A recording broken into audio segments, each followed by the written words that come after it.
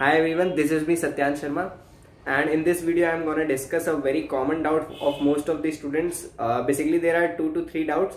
First is how to avoid procrastination.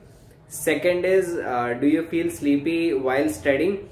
So basically these are the two most common doubts that people have requested me on Instagram in past one week. I couldn't come up with the doubt i was uh, actually busy searching about the admission processes in different iits i mean in my iit where i have got the admission. So first of all we need to understand कि procrastination होता क्यों है? Basically हमारा कोई इसलिए होता है ये प्रोक्रेस्टिनेशन क्योंकि कोई ऐसा टारगेट हमने पर्टिकुलर नहीं सेट कर रखा होता है जिसको अचीव करने के लिए हम वो वाला हार्डवर्क पुट करें अपने स्टडीज़ में। और वो टारगेट का मीनिंग होता है फॉर एग्ज़ाम्पल तुमने सेट कर लिया कि जेई मेन्स में 99 परसेंट टाइल लाने। तो वो तुम्हारा एक टारगेट बन जाता है। अगर तुमने ये टारगेट नहीं सेट किया है तो वो रैंडम स्टडी चलती रहती है और वो प्रोक्रेस्टिनेशन चलता रहता है। इनफैक्ट टारगेट से भी ज़्यादा इंपॉर्टेंट रहता है टाइम टेबल टाइम टेबल बना लोगे और टारगेट सेट कर लोगे तो तुम्हें ये खुद अंदर एहसास होगा कि अब मैं इसी को फॉलो करता हूँ, इसको अच्छे से फॉलो करता हूँ। तो अगर उसको तुम नहीं फॉलो करोगे तो तुम्हें गिल्ट होगा। गिल्ट होगा तो अगले दिन तुम उसको और इम्प्रूव करने का कोशिश करोगे। तो टाइम टेबल ज़रूर बनाओ, उसके बिना प्रोक्रेस्टिनेशन अवॉइड करना थोड़ा टफ है या तो फिर टारगेट सेट कर लो और टाइम टेबल अपने माइंड में रेडी कर लो, एक माइंड मैप बना लो कि ऐसे ऐसे करके मेरे को ये ये सब्जेक्ट पढ़ना है और अगर इस तरीके से कंटिन्यूस स्टडी चलेगी तो मेरा जनवरी या फेब में कोर्स खत्म हो जाएगा। जो लोग प्रोक्रेस्टिनेशन करते हैं, उनका एक रैंडम स्टडी चलता है और रैंडम स्टडी की वजह से कोर्स नहीं कंप्लीट हो पाता है। तो एक स्ट्रक्चर्ड स्टडी करो, जिसकी वजह से तुम्हारा कोर्स कंप्लीट हो जाए और तुम्हारे जेई मेन्स में अच्छे मार्क्स आ सकें। सेकंड बात करें how to overcome sleep during study तो ये सबके साथ होता है। देखो, ऐसी बात नहीं, तुम्हारे साथ हो रहा है।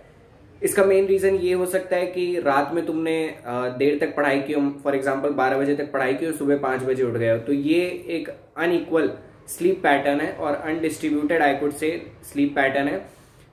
सिक्स टू सेवन आवर्स की स्लीप कंपलसरी रहती है। फॉर एग्ज़ाम्पल मैं इलेवन ओ क्लॉक पे जाता था सोने और सिक्स ओ क्लॉक पे उठता था तो अराउंड सेवन आवर्स की स्लीप मैं भी लेता था। तो उससे क्या होता है, तुम्हारा माइंड फ्रेश रहता है। ना ज़्यादा कम स्लीप लेनी है, ना ज़्यादा स्लीप लेनी है। अगर तुम नौ दस घंटे की भी स्लीप ले लोगे तो उससे भी तुम्हें लेजीनेस होता है।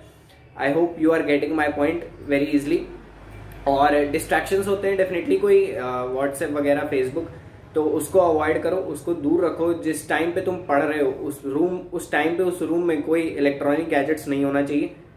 एंड ऑल्सो uh, अगर तुम्हें uh, दिन के टाइम नींद आ रही है काफ़ी लोगों को आफ्टरनून में नींद आती है तो तुम ले सकते हो। ऐसी बात नहीं है कुछ लोग कहते हैं कि नहीं नहीं हम तो रात में सो जाते हैं बस बाकी पूरे दिन पढ़ाई करते हैं। तुम दूसरों की तरह मत बनो जो तुम्हें सूट कर रहा है, तुम उसको फॉलो करो। अगर तुम्हें आफ्टरनून में नींद आती तो डेफिनेटली पावर नैप लो, मैं भी लेता था, और पावर नैप फिफ्टीन से लेके थर्टी मिनट्स तक होती। थर्टी मिनट से ज़्यादा की ज़रूरत नहीं होती। इतने में तुम फ्रेश हो जाते हो कि आगे तुम अपना काम प्रोसीड कर सको।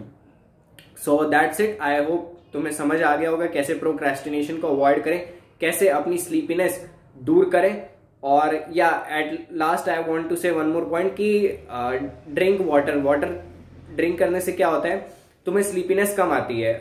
अगर ठंडा पानी पियोगे तो तुम्हें कम स्लीपीनेस आएगी, तुम मोर एक्टिव रहते हो या मोर एनर्जाइज रहते हो पूरे दिन।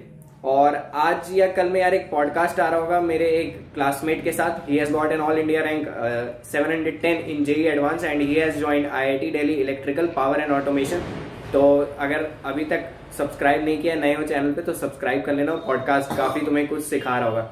So that's it thank you